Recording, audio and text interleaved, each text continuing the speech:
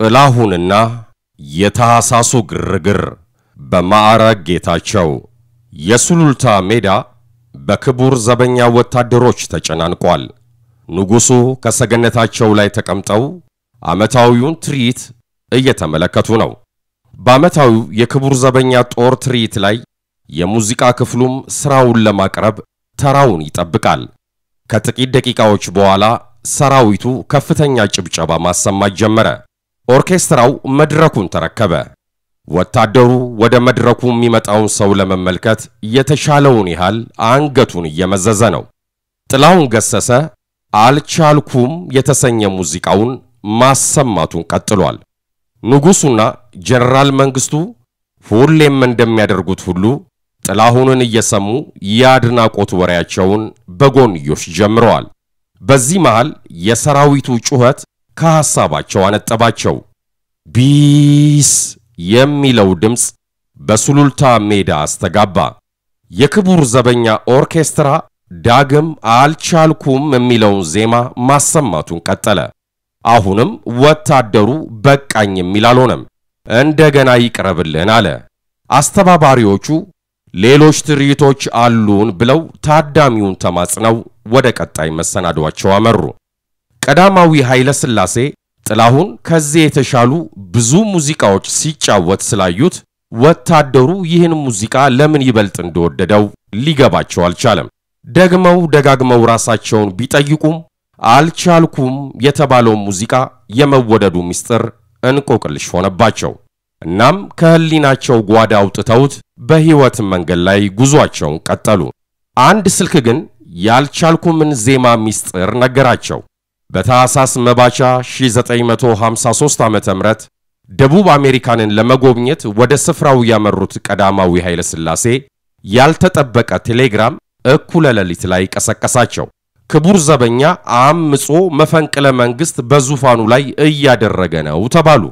ንጉሡ ክቡር ዘበኛዎች በሙዚቃ አልቻልኩም ሲሉ የዋሉት የእሳቸውን አገዛዝ እንደነበረ የገባቸው በዚህ አጋጣሚ ነበር። እናም መፈንቅለ መንግሥቱን ካከሸፉ በኋላ ጥላሁን የሚሉትን ሙዚቀኛ ከፊት ያጥፉልኝ ሲሉ ትዕዛዝ ሰጡ።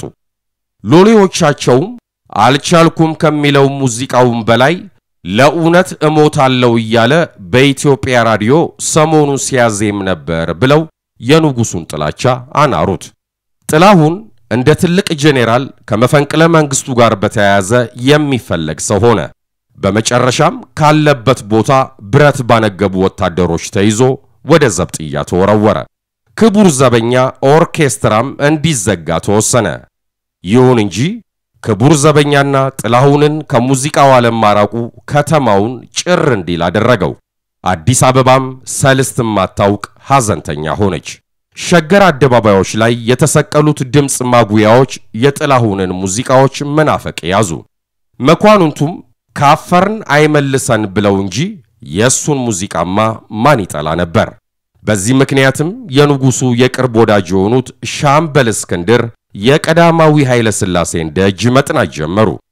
ክቡር ዘበኛ ከተዘጋ ሀገሪቱስ ምን ሙዚቀኛ አለኝ ትላለች? የታሰሩትን ሙዚቀኞች ምሕረት አድርገን እናስወጣቸው፣ ግድ የለዎትም ማለት እንደጋገሙ። ንጉሡ በመጨረሻም እሽታቸውን ለገሱም። ጥላሁንም ከእስር ተፈታ። ክቡር ዘበኛ ኦርኬስትራም ዳግም ተመሰረተ። አልቻልኩም የሚለው ዜማ በድጋሚ ይሰራ ተባለ። ተፈራ ካሳና ብዙነሽ በቀለ አልቻልኩም የተሰኘውን ዜማ ዳግም ተጫወቱት። ግን እንደ መጀመሪያው አልቻልኩም የሚል ሐሳብ ብቻ የያዘ አልነበረም። ብዙነሽ ባትችለውም ቻለው እያለች ሙዚቃው ላይ ተወነች። ክቡር ዘበኛ እንደገና ሥራ ቢጀምርም ከንጉሡ ፊት ግን ደፍሮ ለመቅረብ የሚሞክር አልሆነም። ይሁን እንጂ አንድ ቀን ንጉሡ ያሉበትን መድረክ ላይ ሙዚቃ እንደሚያቀርብ ተነገረው። የኦርኬስትራው ኃላፊዎች የንጉሡን ቁጡነት የሚያለዝበው ብቸኛው ሰው ጥላሁን ነው ብለው ጥላሁንን በመጀመሪያ ወደ መድረክ እንዲወጣ አደረጉት። ጥላሁን ንጉሡን ሰረቅ አድርጎ እየተመለከተ ማይኩን ጨበጠ። ይቅርታ ለምናለሁ፣ ጥፋቴን አውቃለሁ፣ ሆድሽ አይጨክን በእውነት በኔ ጥፋቴን በማመኔ ሲል አንጎራጎረ። ንጉሡ ፈገግ አሉ። እርቅ መሆኑ ነው። አበቃው።